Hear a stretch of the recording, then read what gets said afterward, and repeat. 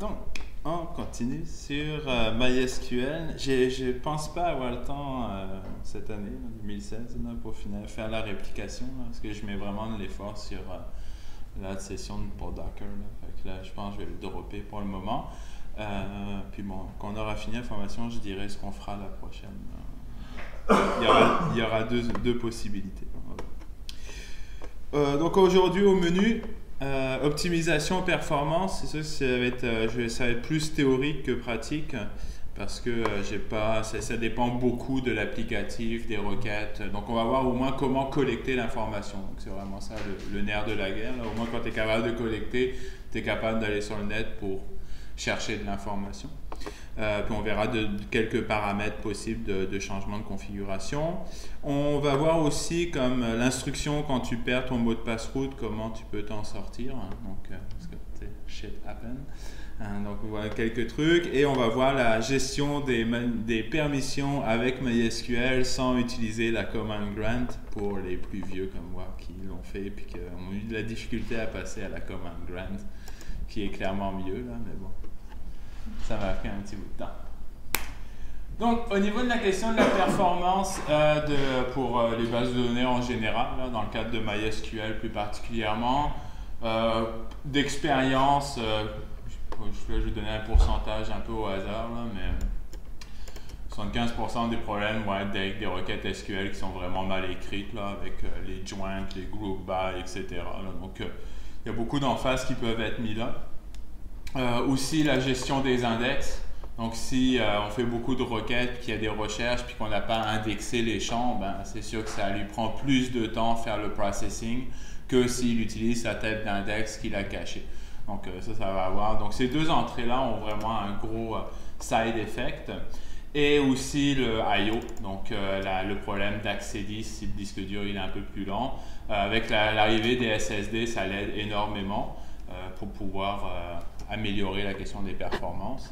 Mais euh, on va voir aussi quelques outils pour essayer de le diagnostiquer. Il y a IOStat, donc qui est une, euh, commande qui est euh, Linux qui va vous permettre de voir où il y a le plus d'accès, s'il y a des problèmes d'accès disque quand, votre application monte en charge, puis que là, le, SQL commence à en chier un petit peu plus.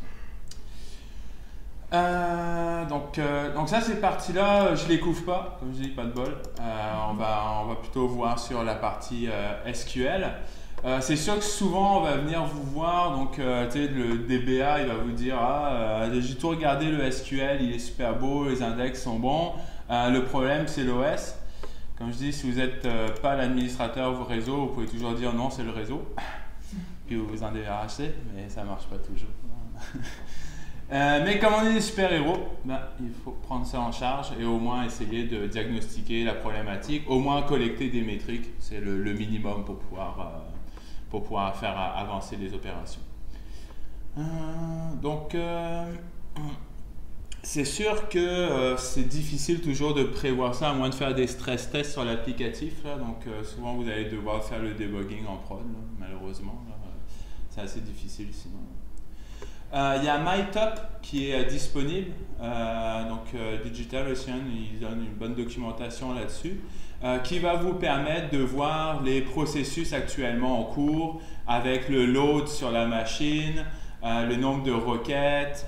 donc c'est assez intéressant de voir. Donc là, c'est sûr que j'avais pas beaucoup de trafic sur, sur le serveur quand j'ai fait ça. Mais on voit ici, j'ai parti donc MyTop. Encore là, il faut s'authentifier avec les mêmes users de la base de données. Donc là, j'étais en, en route. Et au moins, on peut voir les queries qui sont en cours et voir euh, les opérations, le temps qui est utilisé. Bon, il y a le, nom de la BD. Mais donc, ça va vous permettre de voir s'il y avait une requête qui prend excessivement de temps, euh, de, au moins diagnostiquer, ah ben c'est cette requête qui est en problématique, qui jamme tout le reste de l'application ou autre. Donc, euh, ça, c'est bien parce que c'est du temps réel. Donc, tu le vois live quand le problème il est présent. c'est aussi le side effect c'est qu'il faut que tu, tu le live. Donc, euh, à moins d'avoir. Euh, pouvoir prédire quand ça va arriver puis partir ton MyTop. Je sais pas si MyTop. Je pense que Est-ce que je l'ai installé MyTop euh, On va juste regarder Docker exact. On va juste regarder rapidement. Je pense qu'il est pas, il vient pas. Non, il, faut que tu installes le package de Debian dans, le container par défaut euh, officiel de MySQL. Il n'est pas disponible. Euh, j'avais dû l'installer manuellement pour pouvoir le rouler. Euh, je vais juste regarder une, petite chose.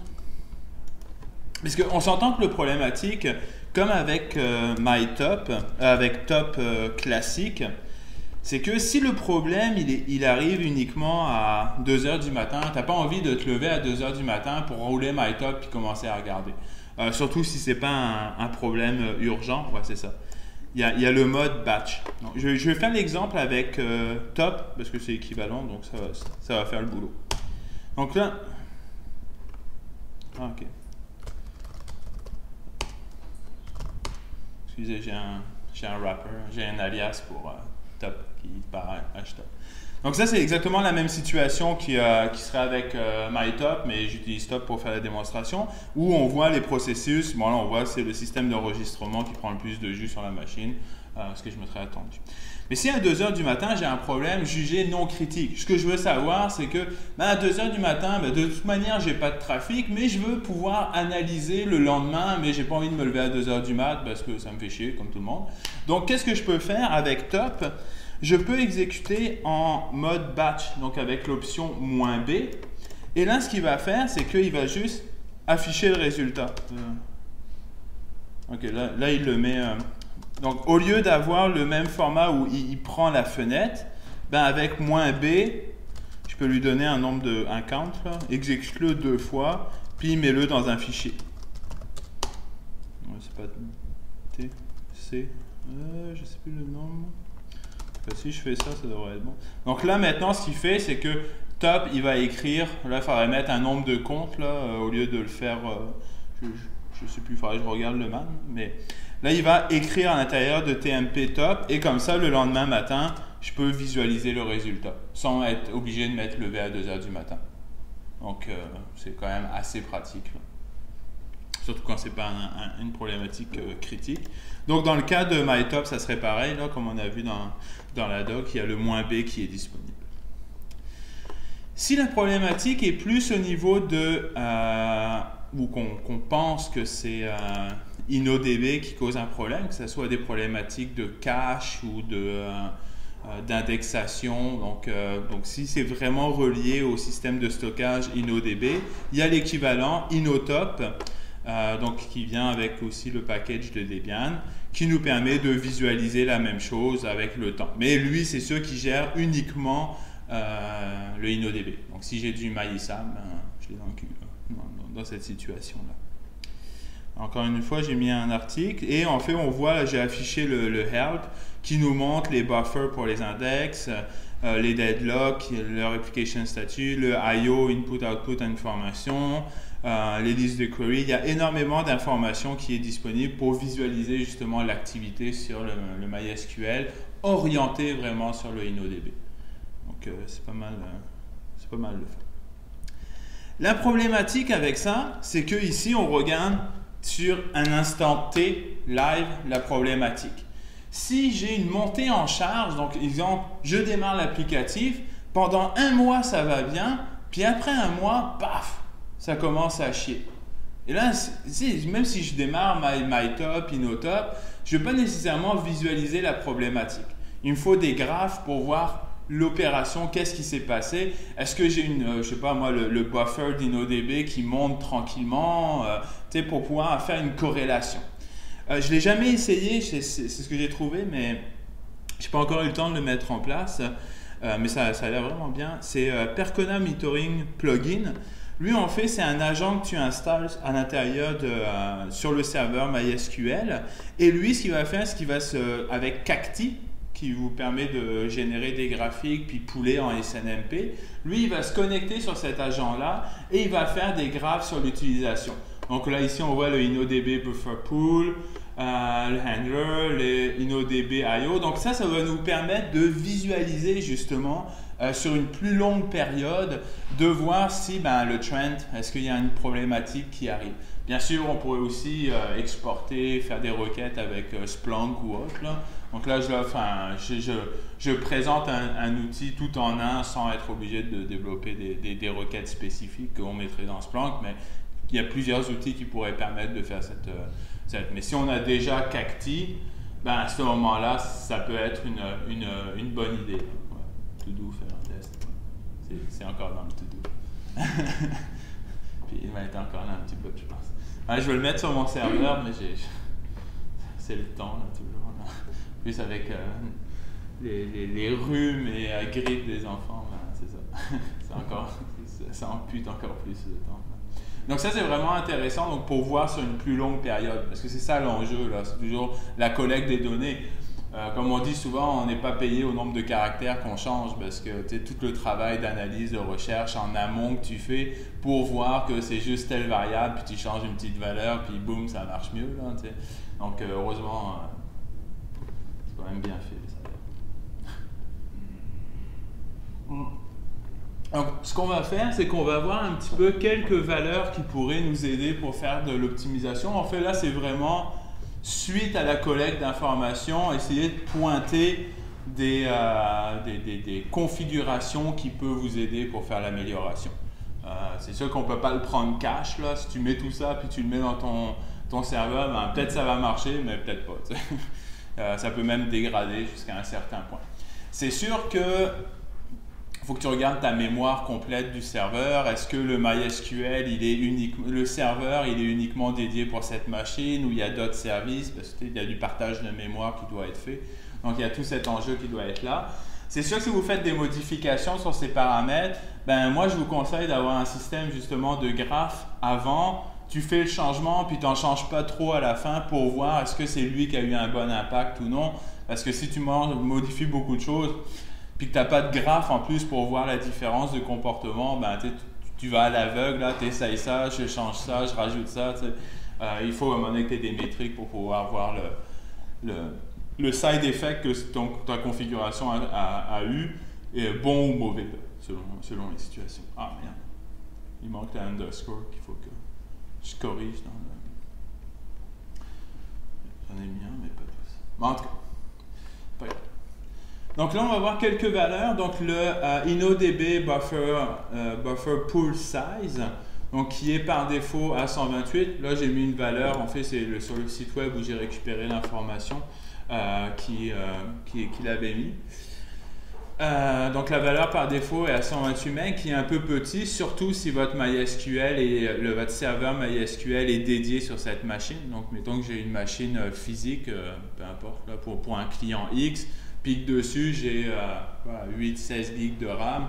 Ben, juste le Inno Buffer Pool, c'est pour tout ce qui est l'indexation, tout ce qui est ce qui va mettre l'espace mémoire, donc le buffer, pour les données et pour l'indexation. Donc, par défaut, à 128 MB, ça peut être correct. Mais si le serveur il est dédié et que tu lui as attribué 16 gigs de RAM pour le serveur, ben ton buffer, tu peux peut-être le jacker un petit peu plus pour qu'il mette plus de données dans le cache surtout pour l'indexation et en plus pour les données. Ça ira quand même plus vite que s'il gratte à chaque fois à l'intérieur sur le disque dur. Donc ça, c'est des valeurs à, regarder. Euh, comme je dis, j'ai toujours mis le lien vers euh, le site. Là, donc, euh, puis si vous cliquez dessus, là j'ai toujours pris le 5.5 qui est notre point de référence quand j'ai commencé la, la, formation. Je vais juste remonter. Si on va en haut complètement, vous pouvez changer la, version ici pour que ce soit correct pour vous. Euh, donc, lors des insert des updates, il va le mettre dans le buffer et régulièrement, après, quand il y aura du temps CPU, il va le mettre à l'intérieur euh, sur les disques, donc pour euh, la, sécurisation des données. donc, comme dit, il faut faire attention. C'est sûr que tu peux pas, si tu as un serveur à 8 GB de RAM et que tu, je sais pas, ton, ton ça, je l'ai pris sur je euh, je sais pas où j'ai pris cette information. J'ai peut-être pris sur le site de référence. Faudrait voir en bas dans, dans l'annexe. Euh, pour, dans le, je l'ai pris ici. Je sais pas où je l'ai pris. Choosing, où je l'ai pris ici, je sais plus. Euh, donc, où il donne des valeurs. Si tu donnes euh, sur les 8 gigs de RAM, si tu en donnes 7 pour euh, MySQL, ben, c'est possible. Il y a quand même d'autres processus sur la machine, le kernel, etc., qui a quand même besoin de rouler. Donc, tu ne peux pas tout donner pour MySQL, mais il y, a, un ratio à faire. donc, ça, c'était une, représentation que j'ai trouvée. et je sais plus où, et ça, ça m'emmerde. Parce que j'aime bien trouver mes, mes sources de référence. C'est dessus ici vous pourrez lire plus en détail. Sais où j'ai trouvé? Peut-être dans l'annexe, c'est. Désolé. J'aurais préféré l'avoir. Le InnoDB log file size, donc qui est par défaut à 5 MB. Euh, donc lui, ce qu'il va faire, c'est qu'il va écrire régulièrement euh, des, des, log files pour conserver en cas de crash recovery pour reconstruire ses tables. Euh, c'est les redo logs sous Oracle qui, sont, présents. Euh, c'est sûr, donc là, par défaut, il va faire plusieurs petits fichiers et, attends, il va à chaque 5, 5 MB, il va écrire son redo log. Donc là, c'est sûr que si tu réduis le nombre de checkpoints, il va écrire plus souvent sur le disque. Ah, attends, j'ai mis quoi ici? Non, ça j'ai augmenté. En augmentant le disque, il va garder plus en mémoire avant d'écrire sur le disque. Mais bien sûr, il y a un side effect qui pourrait arriver que si ça crash, ben, euh, tes données sont plus risquées. Donc, il faut, faire un, balancement entre l'un et l'autre. Donc, euh, mais l'objectif de ça, c'est de réduire le nombre d'écritures, en fait, de réduire le nombre de swapping de fichiers. Donc, tu fais des gros fichiers plutôt que des petits fichiers. Euh, InnoDB par table, euh, donc là, comme je dis, j'ai essayé de le mettre ici. Euh, attends.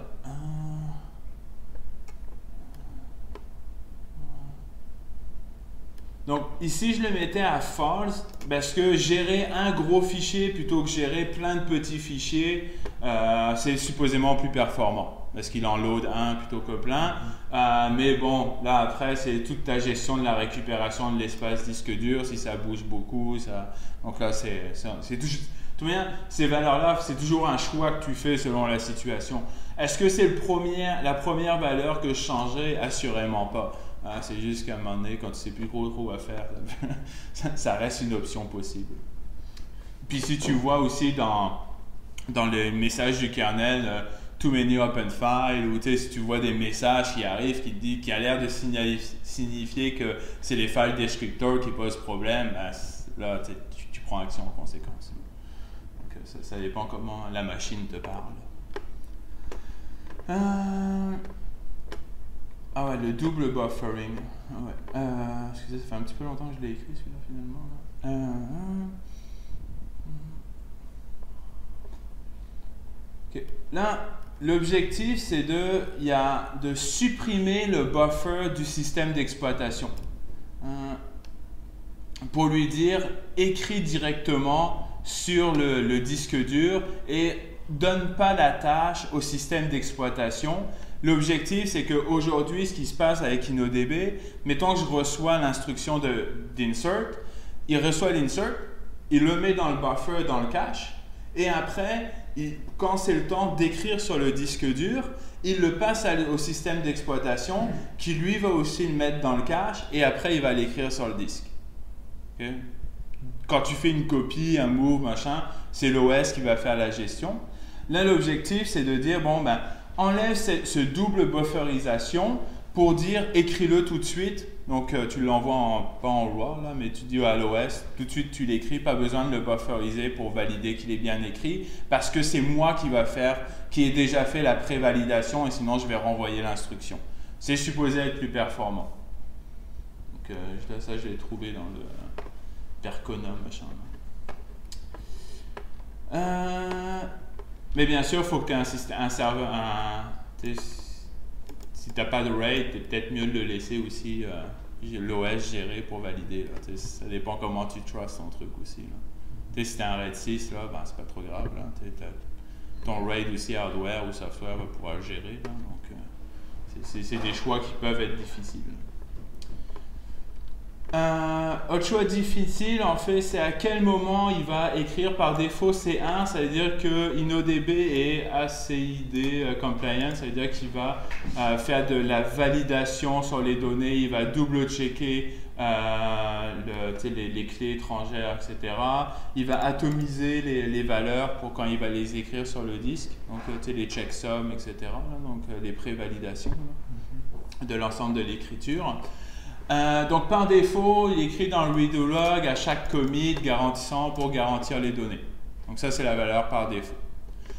La valeur 2, donc qui est changeable là, euh, il va écrire les transactions après le commit dans le log puis il sera floché approximativement à chaque seconde. Donc là il y a un risque si le serveur il crash que ben ça soit que, ta transaction n'a pas été écrite sur le disque parce qu'il n'attend pas la fin du commit. Il y a un délai qui va se faire entre les deux. Ça, c'est sûr, donc il y, a, un risque de perte de données. Bon, là, il dit chaque seconde, mais ça dépend le, le scheduler interne, donc ça peut varier un petit peu. C'est sûr que ce n'est pas des minutes, mais il peut avoir un, flottement là-dessus. Et euh, zéro, donc euh, il n'écrit pas dans le redo log, hein, puis il attendra que le flush arrive pour écrire la transaction sur le disque dur. Donc ça, c'est vraiment plus risqué, surtout si tu un crush.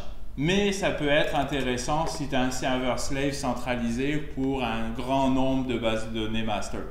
Parce que ton master, il a tout fait la validation dessus. Donc le slave est capable de recevoir plus de transactions sans nécessairement faire de la prévalidation. Et si le slave il a un problème qui crash, ben, quand le master va renvoyer, il va dire que ben, ces données sont pas sync. C'est moins critique. Voilà, après, je dis pas de mettre zéro. Hein. Surtout pas pour le master. Mais euh, c'est des choix qui peuvent être difficiles, mais ah, qui peuvent être pris en considération. Euh, euh, la gestion des threads, c'est un petit peu comme on avait vu pour le MySQL. parfois, pas pour le MySQL, mais pour le Apache, Parfois, tu es mieux de dire au système, ben, moins de thread, parce que tu partages le serveur avec, je sais pas, un Tomcat, JBoss, Apache et tout ça. Puis à un moment donné, quand il essaye de trop en démarrer, il se pile sur les pieds, il, il, a la difficulté à gérer tous les threads.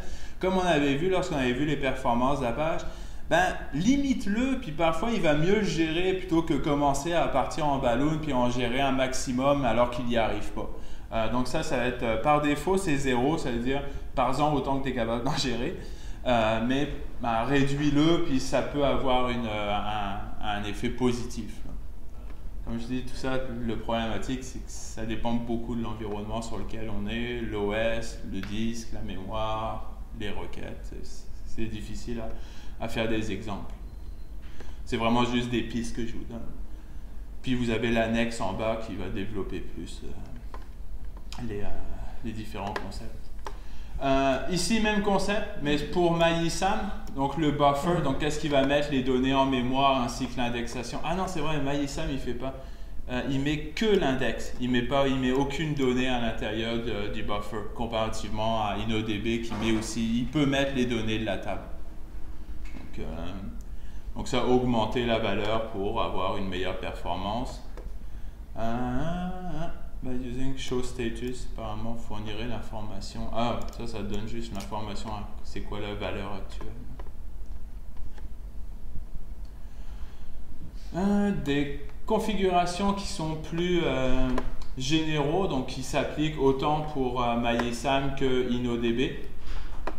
Donc la valeur des tables temporaires puis le max heap table qui est utilisé lors de l'utilisation des group by, probablement des, des joins.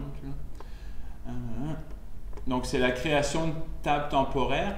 Ici, la valeur qui est définie, c'est ce qui va mettre en mémoire. Si tu dépasses la valeur de 16 MB, donc une table temporaire qui, euh, tu, tu, fais un join de deux tables ou un group by, que le, résultat fait plus que 16 MB, dans ce cas-là, MySQL il dit Oh, je ne peux pas mettre tout ça en mémoire. Donc là, il crée une table temporaire sur le disque dur. Résultat, la création du fichier sur le disque dur, la création des données a des coûts sur l'IO. en augmentant la valeur, par exemple à 32 MB, ben, il pourra mettre en mémoire jusqu'à 32 MB. Bien sûr, il faut voir les autres valeurs que tu as mis aussi pour le InnoDB cache, etc. Mais euh, donc, c'est tout prendre ça en considération. Euh, thread cache size. Euh, les threads utilisés lors de la connexion.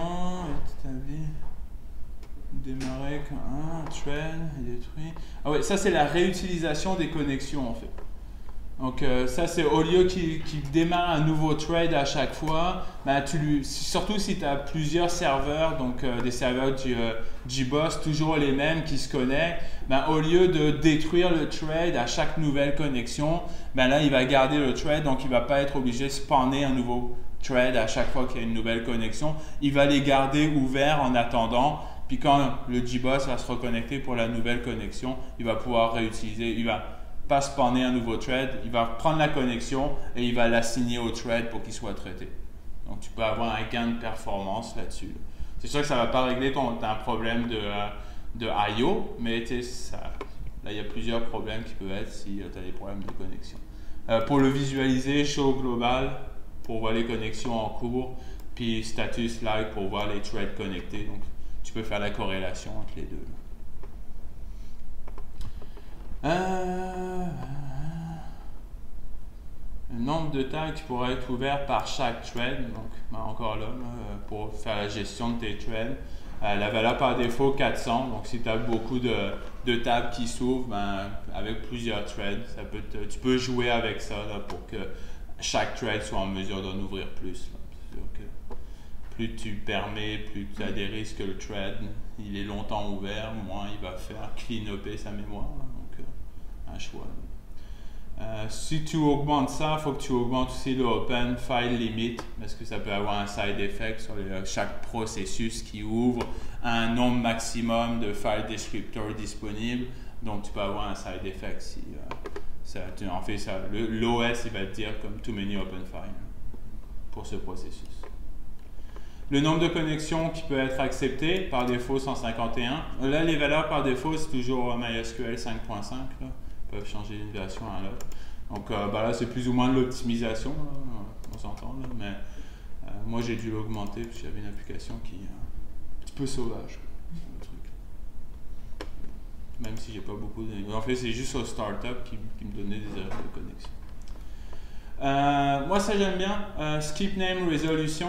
Euh, par donc là, si tu le mets à on, il va pas faire la résolution DNS lors, lors, de la connexion du client. Sinon, à chaque qu'il y a une connexion qu'il fait, il, prend l'adresse IP d'où ça vient, puis il fait un reverse DNS pour avoir le hostname.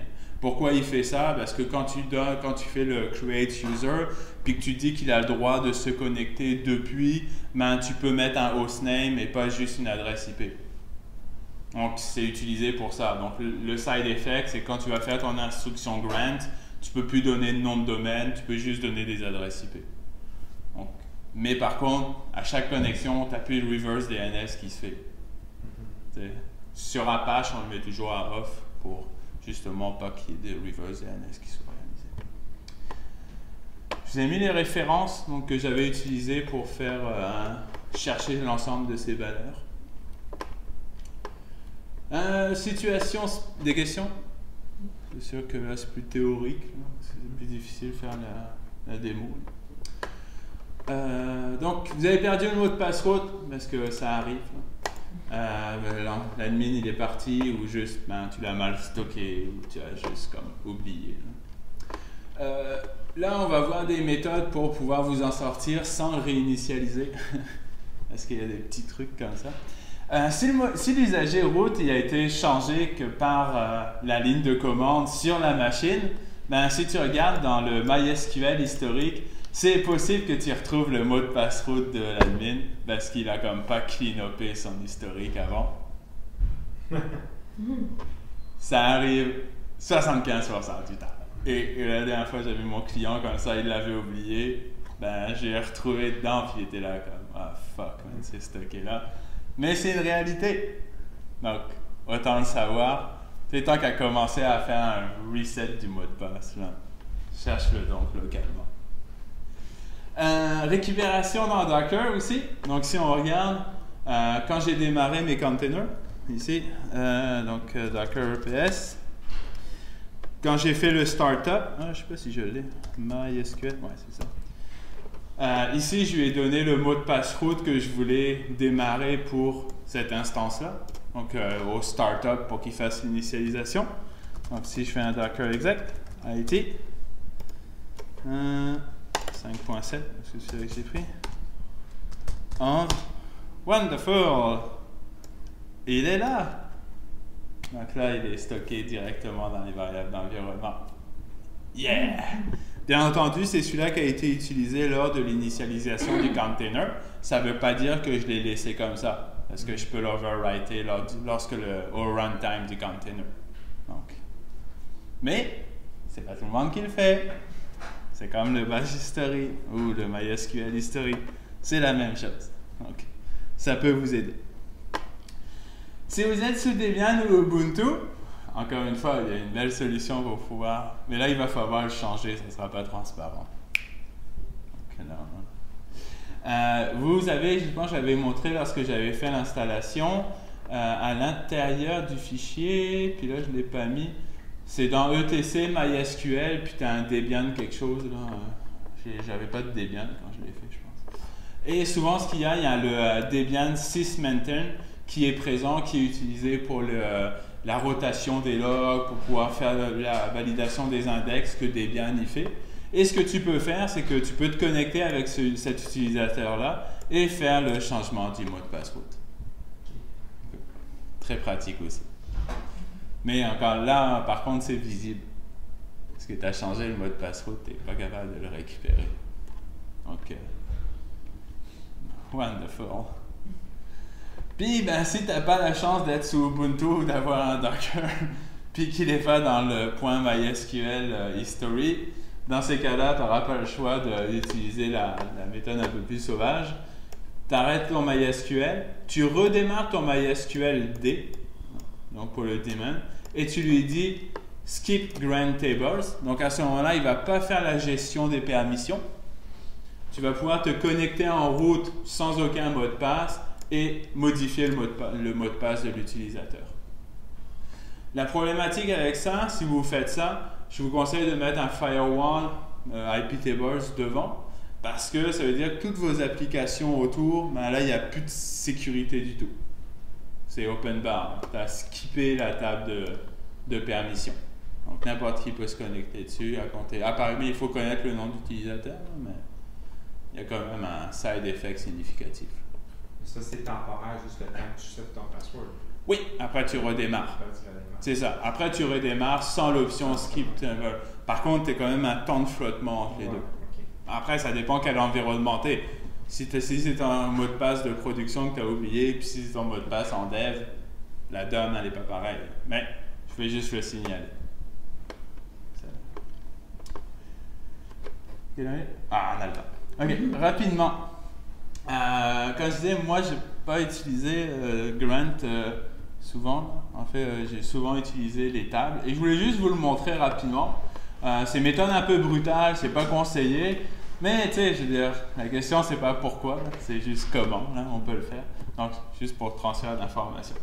Ici, ce que je veux voir, on va voir la manipulation des permissions de MySQL sans utiliser la fonction grant. Donc, comment ils sont stockés nativement à l'intérieur de la BD. Comme. Euh, ok, cool. .u route.p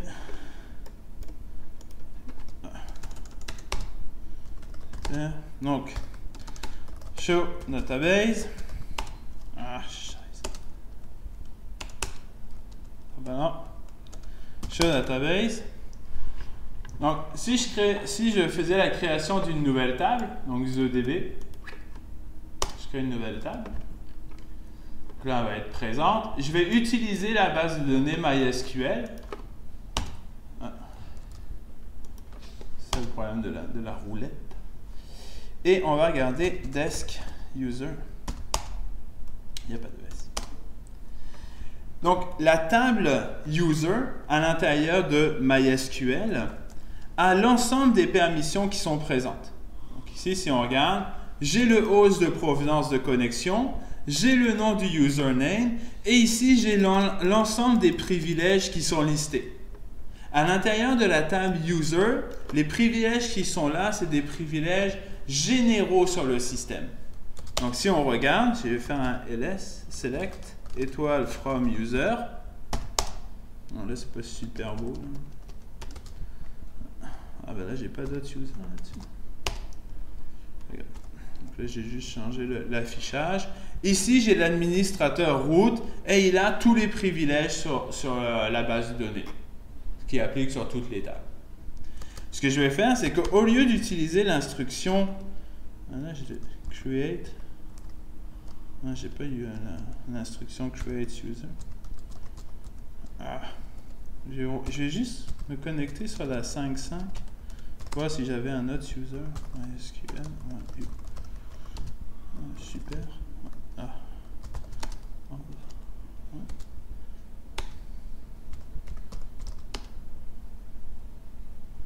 Ah, je l'avais démarré en...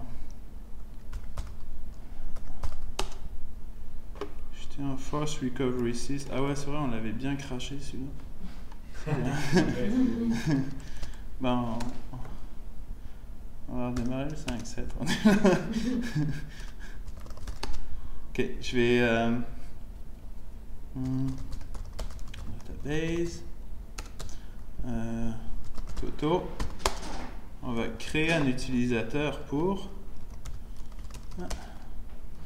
fait euh, git training MySQL. À moins que vous en rappelez mais moi j'ai pas de mémoire en fait. Create hop medium.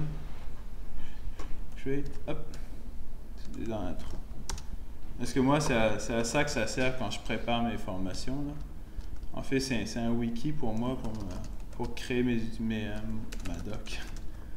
Finalement, à l'arrivée, c'est ça que j'ai fait. Donc j'ai créé, je vais créer Bob de n'importe où. Juste un Bob avec euh, super aussi. Paf. Puis je vais juste donner des permissions avec Grant sur Toto. Juste pour qu'on ait la star majuscule. grant usage, grant all. Hop. And all, toto, point, étoile, to,